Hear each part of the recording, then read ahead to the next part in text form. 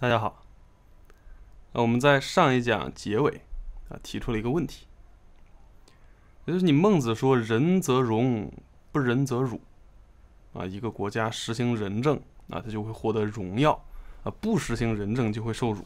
啊，这当然没有问题。啊。你孟子说“取诸人以为善”，是与人为善也。啊，故君子莫大乎与人为善。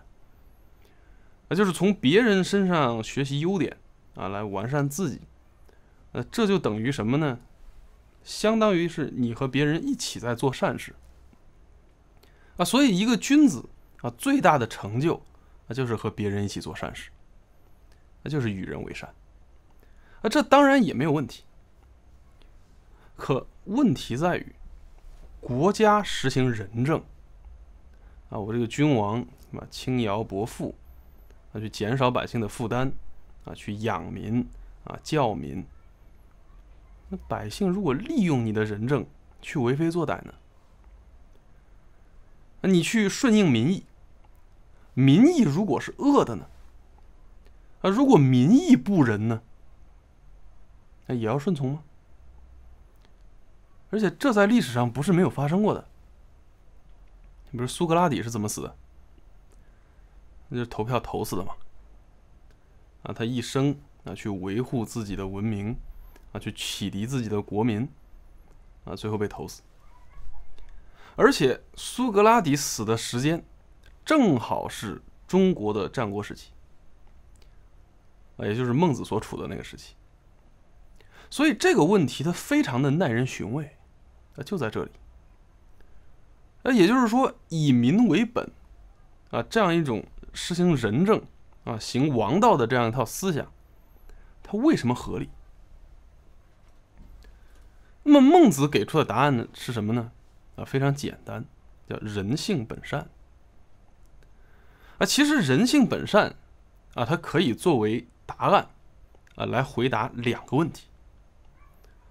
啊，第一个问题啊是从动机上讲，统治者为什么会去行仁政？第二个问题是百姓为什么配得上统治者的仁政？啊，就是我们开篇提的那个问题。啊，百姓会不会利用这个仁政去为非作歹？那么我们先来说第一个问题：统治者为什么会去实行仁政呢？那，孟子说：“人啊，皆有不忍之心。先王有不忍人之心，啊，斯有不忍人之政矣。”以不忍人之心行不忍人之政，啊，治天下可运之掌上。这个话说起来很大气，啊，什么意思呢？呃，每一个人啊，对于别人啊，都有怜悯之心，都有不忍之心。那么从前的贤王啊，有这样一种不忍之心啊，于是他才会有啊，充满怜悯。啊，充满仁慈的政治。那么，用对每个人的怜悯不忍之心，啊，行怜悯仁慈之政。那么这样的话，天下的治理啊，它就像反掌官文那样容易，啊，运天下之于掌上。哎，这个听上去好像不错，但是问题在于，你孟某人。凭什么说人皆有不忍人之心呢？这是一个顺理成章的问题吧？那么孟子举了一个例子，他说：“所以谓人皆有不忍人之心者，啊，就是我之所以说啊，人人皆有不忍人之心，啊，皆有怜悯之心，啊，都有善性，那是有原因的。什么原因呢？今。”人乍见孺子将入于井，皆有触涕恻隐之心。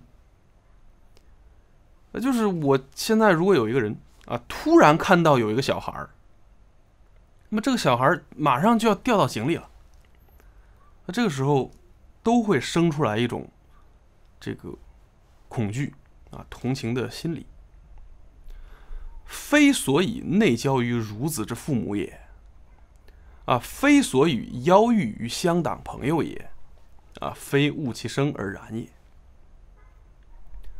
什么意思呢？就是我现在看到这个小孩马上掉到井里啊，我们刚才说他会自然而然的，呃，从这个内心深处有一种惊骇啊，有一种同情。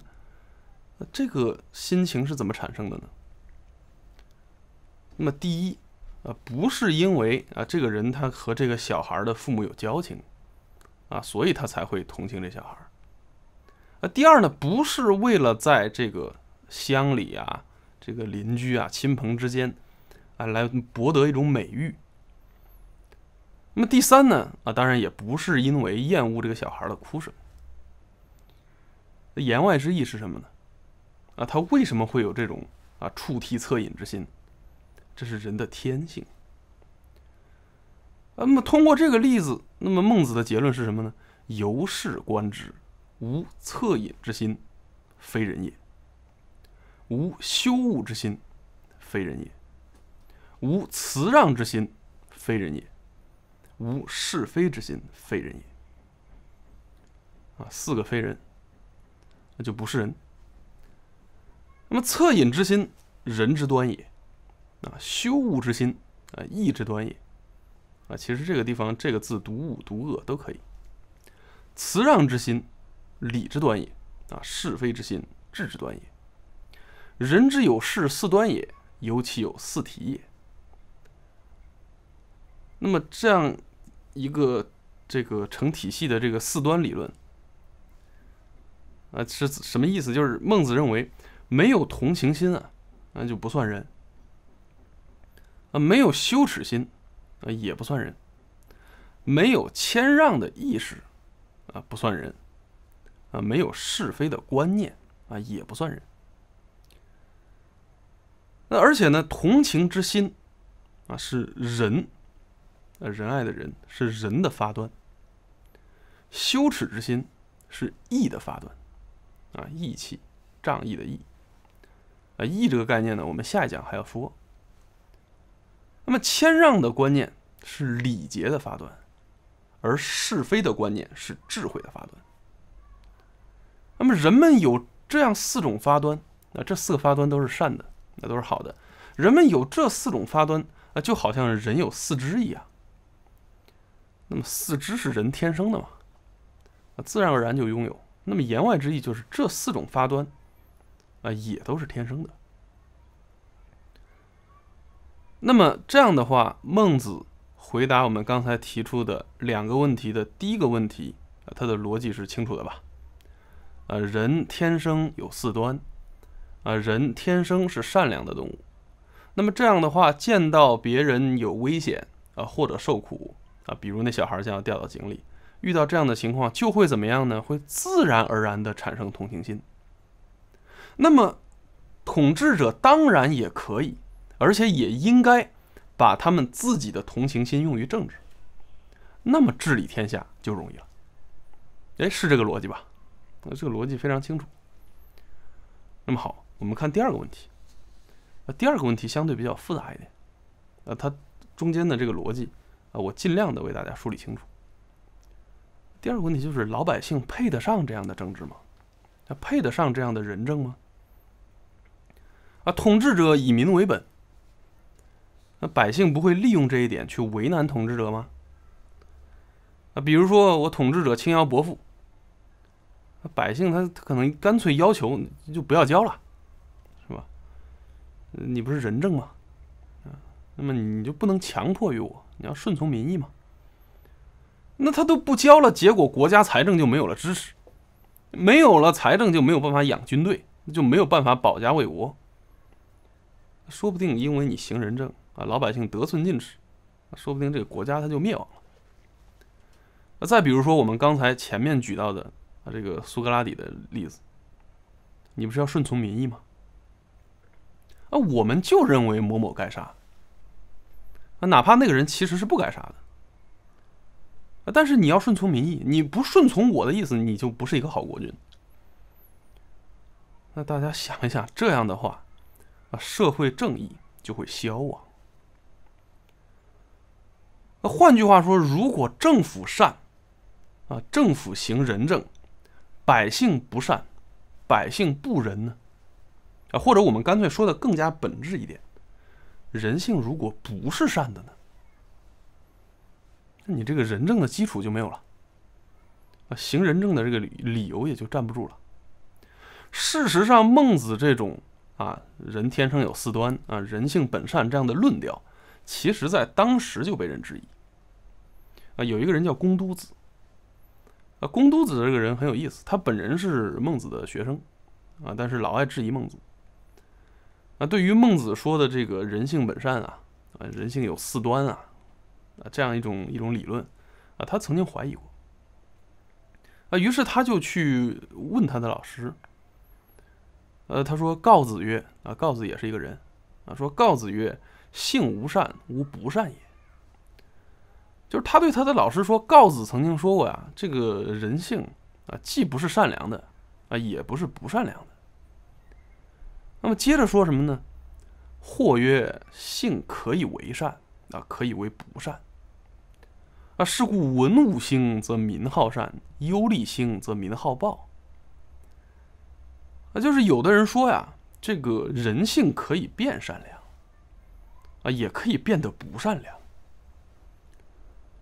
人性是可变的，可以受外界影响的，啊，所以像周文王啊、周武王，这是开辟周西周的这两个贤王，像周文王、周武王他们的时代啊，那是贤明的君王啊，那社会很清明啊，那么通过他们的教化，这老百姓他就善良。那么你赶上像周幽王啊、周厉王那样的时代，啊，国君他行的是暴政，老百姓他耳濡目染，他在这个环境之中，他自然而然他就残暴，啊，等于是给这个这个性无善无不善做一个诠释。那么接着又说，或曰性有善，啊，有性善啊，有性不善，啊，是故以尧为君而有相。以醒瞽叟为父而有舜，以纣为兄之子且以为君而有微子启、王子比干。今曰性善，然则彼皆非愚。那这个话就问的相对比较犀利一点了。就他又提出一个观点，啊，就有的人说有一部分人的人性是善良的，啊，有一部分人的人性是不善良的。因此呢，你像有尧那样的圣君，我们知道尧舜禹，这是这个上古时期的圣君。那么有尧这样的圣君呢，啊，但是却有像象那样的恶人啊，大象的象，那象这个，呃，据说是舜的弟弟啊，他的一些事迹在《史记》里记载都有，大家可以去看啊，令人发指啊，包括他想把这个舜，那就这个尧舜禹的舜，这个埋到井里害死。有瞽叟这样的父亲，啊，却有舜那样的儿子。啊，瞽叟是舜他爹，啊，老想害死自己的儿子。啊，他就让这个舜啊到这个房顶上去修房子，啊，自己在底下放火。就这种人，啊，但是舜并不恨他爹，啊，该怎么孝顺怎么孝顺。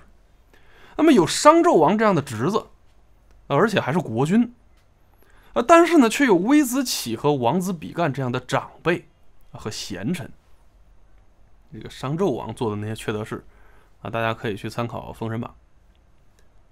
那么现在老师您说，啊，人性本善，那么难道这些人都说错了吗？就刚才那俩人，啊，提出了两种观点，而且都是有理有据的，啊，然则彼非，彼皆非愚，啊，对吧？人家说的这个并非没有根据，那么等于公子都。呃，公都子，呃，孟子这个学生，他提出了两种人性本善的代替理论。呃，一种是人性没有善恶，本身一张白纸，是后天环境啊让他们受到影响，啊，由此才变得有善有恶。啊，环境使他们不同。呃，另一种代替理论呢，说有的人人性本善，就你说人性本善，它适用于一部分人。但是还有一部分人他是人性本恶的，那这样就都驳斥了这个孟子说的。啊，孟子说善良是这个人类的本性。在这个他的学生这里，看似是站不住脚的。那孟子是怎么回答的呢？孟子说：“若夫为不善，非才之罪也。”啊，先定性了啊，如果有人做这个不善的事，那不是他天生资质的问题，那不是人性的问题。那为什么呢？这个把刚才的话重复了一遍啊，说“恻隐之心，人皆有之”，啊，这呃这句话就来自孟子啊，“羞恶之心”或者叫“羞恶之心，人皆有之”，啊，“恭敬之心，人皆有之；是非之心，人皆有之。”而且又来了，“恻隐之心，仁也；那羞恶之心，义也；这个恭敬之心，礼也；是非之心，智也。仁义礼智，非由外说我也。”大家注意，这句话是一个非常重要的一句话。仁义礼智，非由外说我也。我固有之也，弗思耳。而故曰：求则得之，舍则失之。或相背袭而无算者，不能尽其才者也。什么意思呢？也就是说，恻隐啊，啊，羞耻啊，那恭敬啊，啊，是非啊。啊，这些资质，它是人天生就有的，而且而且由于恻隐等于仁，羞耻等于义，恭敬等于礼，是非等于智，那么仁义礼智，它不是外界给我的，而是我固有的，这个像四肢一样。啊，如果我感觉我没有，那是因为什么呢？因为我没有去思索他们，啊，因此探求他们呢，就会得到；舍弃他们就会失去。而且孟子还说，人和人的这个差距为何这么大呢？因为发挥他们资质的程度不同。那么我们反过来看孟子学生提出的这两种两种代替理论，啊，对于第一种的看法。啊，人受环境影响。那么这点孟子他没有说出所以然啊，啊，他只是一直的坚持啊，善良，啊，这四端，他不是外界给我们的，啊，咬定了这一点。那么对于第二种看法呢，那有的人善，啊，有的人他不善，那，孟子也不承认。孟子说他们都是善的，啊，只不过什么呢？发挥的程度不一样嘛。那么，如果按照孟子这个说法，啊，我们想一想，啊，统治者他可就难办了，对吧？回到我们最初提出的问题，百姓配得上仁政吗？啊，得寸进尺啊，暴民政治啊，这会出现吗？那么，我们借孟子的逻辑来推断一下，那么可以得出的结论啊，这个答案啊，应该是很大概率会出现。啊，甚至一定会出现，因为孟子他自己承认，啊，虽然说人性本善，啊，但是人性中的善被发挥出来的程度它不一样啊。那你人能把自己的本性发挥出来的能力，啊，它是不同的。但是我们要知道，对于政治家来说，在政策层面。为什么？它往往不那么重要。重要的是是什么？现实是怎么样的？那你既然事实上百姓善的程度是不同的，那么一旦采取仁政，那后果就未必可知了。那所以这样的话，孟子他其实给自己编了一个圈套。啊，我们从统治者的角度来出发思考这个问题。如果统治者实行仁政的动机是他们自己善良的本性啊，因为统治者他也是人啊，啊，他也是这个人类的一份子啊。如果他的动机是他自己善良的本性，你有可能赶上不善良的百姓啊，赶上事实上不善良的百姓。而如果统治者实行仁政的动机是教化百姓，那孟子又说了，我们刚才。那句很重要的话说：“仁义礼智，非由外说我也。”那就仁义礼智啊，这些善心，它不能由外界给我。哎，哎，我们发现，等于是孟子在否定了环境可以影响人的本性的同时，啊，又把自己的后路给断了。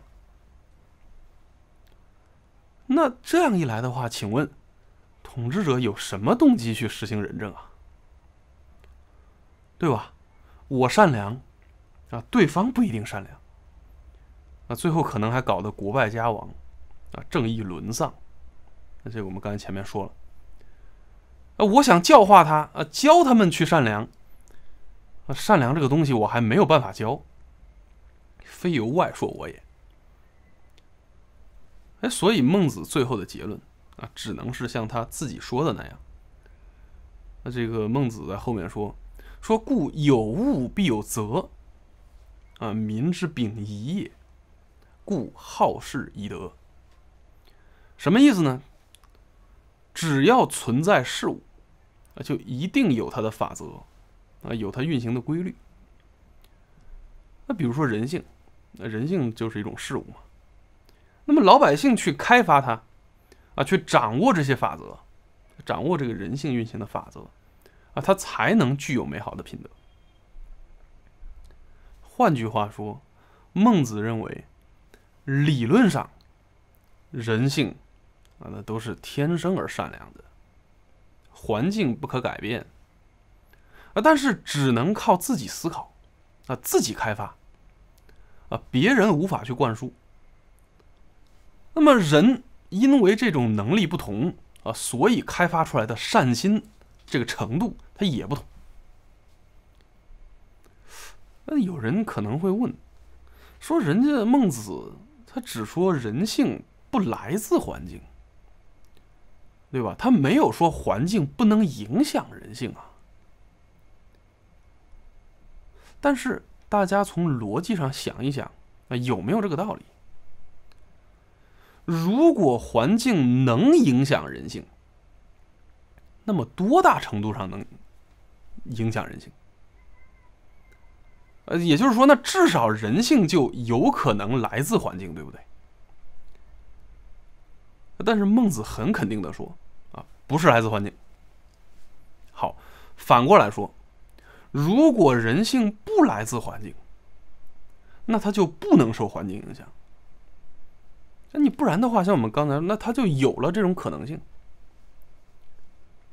而孟子他是斩钉截铁的否定了这种可能性的，啊，仁义礼智啊，非由外铄我也，他不是外界给我。那么因此，孟子的性善论，人性本善和他的仁政思想的匹配度，这个从逻辑上来讲，我看是不高的，啊，这个不怎么匹配。因为我们讲了孟子的性善论的两套逻辑，啊，从统治者的角度来出发，那就我们刚才前面提到的两个问题，呃，由于人天生是善良的动物，那么见到别人危险啊或者受苦，他就会自然而然的产生同情心，产生善心啊，激发他固有的良知，那么统治者应该把他们自己的同情心也好。啊，自己的仁爱之心也好，用于政治，这样天下才容易治理。啊，这是我们刚才总结出的第一套逻辑吧。那么第二套逻辑，从百姓的角度出发，虽然人性都是天生而善良的，但是呢，从方法论上，只能靠自己思考，靠自己开发。啊，环境无法灌输。呃，人因为开发能力不同，所以开发出来的善心也不同。那这是第二套逻辑。这两套逻辑摆在一起，我们就可以发现，孟子的理想王国是什么样呢？啊，这一幅画面是什么样呢？统治者不问动机，大力实行仁政，百姓努力反省自身，开发自己的善性，去配合统治者的仁政。这就是孟子构建出的理想王国，也就是仁政加善性等于王道。我们前面讲过，这个孟子是主张实行王道的。那么，如果说孔子那一支的这个儒家的理想，那是大同世界；那么孟子这一支的理想，那就是王道盛行，把这个统治者的这个仁政加被统治者的善心加到一起，哎，这样一种政治形态。那么，对于孟子的这两套逻辑，我们刚才说的这两套逻辑，我个人是不赞同的。那有这么几个原因。那么第一呢，从统治者的角度出发，人性本身啊是善的还是恶的不重要，或者说你根本就不应该把人性作为出发点来制定政策，啊不管这个人性啊它是善的还是恶的，啊不管这四端啊是不是环境这个加给人的，那么作为一个成熟的政治家，他都应该考虑治理。国家施行政策时候出现的最坏的情况，而且他要防止这种最坏的情况出现。因此，哪怕人性是恶的，啊，哪怕我治下的所有老百姓全都穷凶极恶，没关系，只要我施行的政策保证内部稳定、外部安全，可以了。那么，依靠人性的善良，啊，或者以自己的善良为出发点。啊，去制定政策，这在我看来，这是拿国家、拿民族的命运在开玩笑。在在这一点上，我个人来说更倾向于西方的法治观点，那就是你人性爱怎么样怎么样，是吧？你每个人的价值观，你爱是什么是什么。我国家制定出来最佳的法律。那就防止最坏的情况出现，啊，这当然是每一个国人行为的底线啊。那么，这套法律制定出来之后，上到统治者，下到老百姓，所有的人都要去遵守，人人平等。在这套法律之下，或者说在这个底线之上，你们随意，应该是这样一套。这个治国的方式。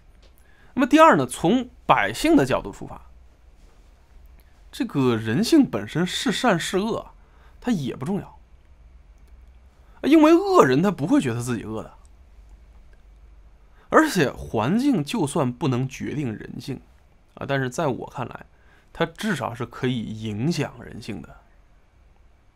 啊，孟子说的不受环境影响，这个我是不能赞成的。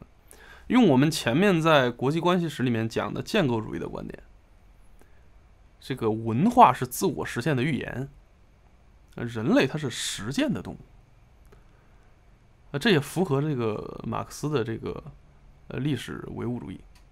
我们一定是在实践中产生了自己的身份和利益，啊，这个身份和利益又促使我们继续向这个方向去实践。啊，于是身份和利益就又得到了强化，对不对？啊，那我们所处的环境对于我们定义自身就非常的重要。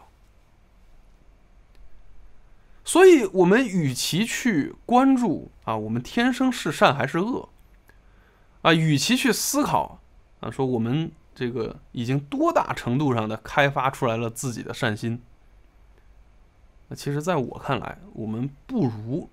啊，更加的关注我们所处的环境。啊，所谓近朱者赤，近墨者黑。啊，鸟随鸾凤飞腾远，人伴贤良品自高。啊，物以类聚，人以群分啊。那么第三呢？善恶和好坏，这个我个人认为没有必然联系。